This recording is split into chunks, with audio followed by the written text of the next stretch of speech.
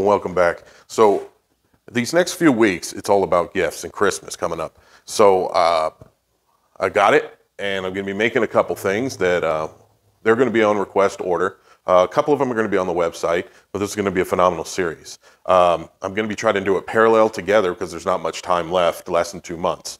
So, I'm going to be making uh, little dishes that um, you put keys, coins, and stuff like that out of metal, and it's going to be really neat. Okay, I don't even have the equipment yet because I need a, a, proper swage with a dip in it so I can pound it out to make a curve. It's going to be beautiful. You're going to see it. But on this series, where I'm starting today is I'm going to make an end table because right now I'm using an upside down laundry basket and it's not the best. So it's going to be really cool, and there's going to be a secret for this end table, and it's going to be amazing. I'm only going to sell them for $150, but again, it's just going to be one of those things where you're going to have to uh, go ahead and email me uh, at my web uh, blade shop at uh, ltdforge.com, and I'll be able to put one together for you. Uh, but yeah, very exciting times. Going to be lots of gifts, lots of giveaways. So stay tuned. Check it out until the end, and we'll get that giveaway going. All right. Thank you for watching.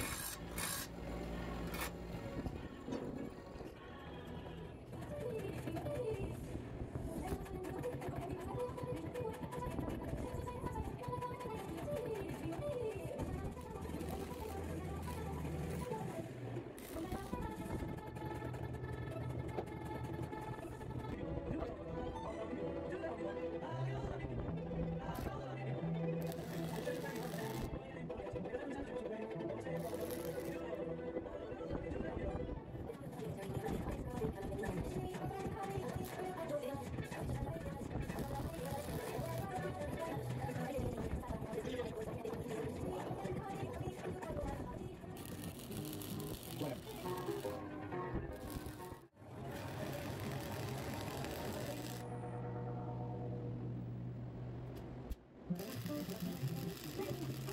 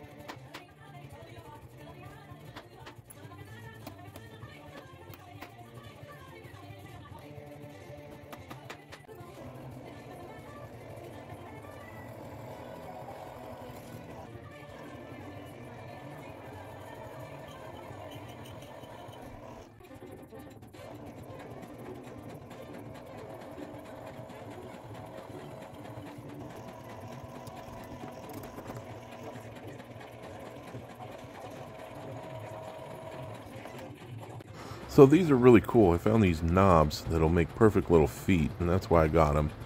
And they're going to be the feet of the drawer.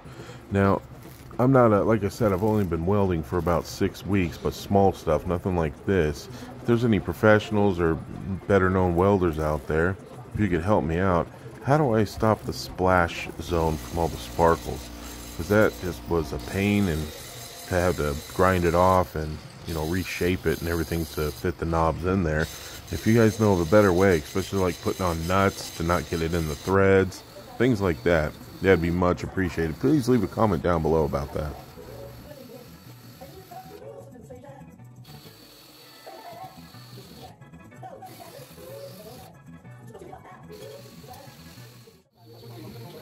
Here are the uh, spacers I'm going to put between the frame and the feet to give it a little bit more extension.